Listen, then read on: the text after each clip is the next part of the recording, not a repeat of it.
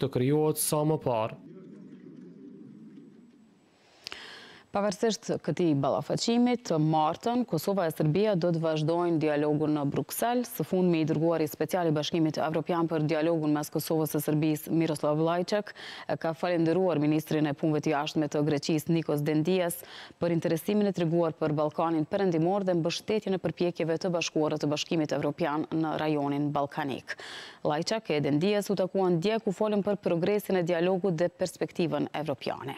Greqia së fundmi mbështeti anëtarësimin e Kosovës në Këshillin e Evropës duke abstenuar gjatë votimit. Shteti helen po ashtu ka mbështetë gjithnjë përpjekjet e Bashkimit Evropian për dialogun Kosovë-Serbi duke bërë thirrje që palët t'i afrohen marrëveshjes përfundimtare.